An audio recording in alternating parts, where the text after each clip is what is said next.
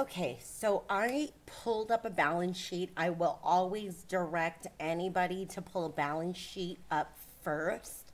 Okay, and the very first thing that I'm gonna look at off top is I'm gonna take the total assets and I'm gonna look at that. And in this case, it's two seventy-three, eight sixty-two and eighty-eight cents.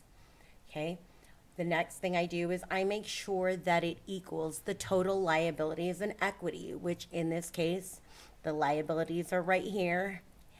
The total equity is right here, and together it does tie out to the assets for two seventy-three, eight sixty-two, and eighty-eight cents. Okay, that would be the first red flag. Because if that was off, I would stop right there. Um, I would try to look for what how much it's off, and then I would contact studio. Okay, that's the first thing.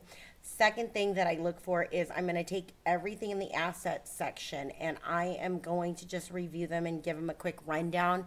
When I do that, in this case, um, I can see that there is a negative amount in suspense. Okay, a negative asset is a liability. So that means this is not an asset. It's something that, well, it's to me, it it's either overpaid or there's a problem. Okay, so I would take that as the second issue. Anything that is negative, it doesn't mean it's wrong, but that's usually a red flag. Um, the only thing I probably wouldn't question that would be a negative in an assets is an accumulated depreciation, okay, or amortization. If you saw that account on here, that means it's, you know, they're, they're amortizing assets. Okay, so that wouldn't be odd.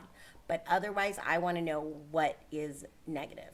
Okay, second is in the liabilities. I'm going to look at anything. Okay, I'm going to disregard the equity for right now, but I'm looking at liabilities only.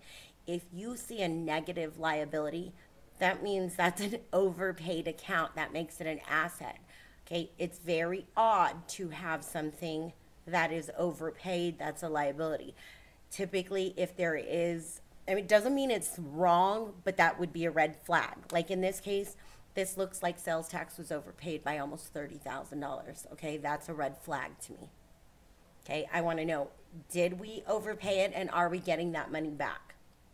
Okay, so those that is a quick that's a quick rundown to see what is wrong. I would never pull up a P&L, income statement or profit and loss, all interchangeable words, if the balance sheet was off. Okay, I always start with the balance sheet. Okay, if there's any questions to what I've just said, you can leave it in the comments, like, post, and subscribe to stay updated.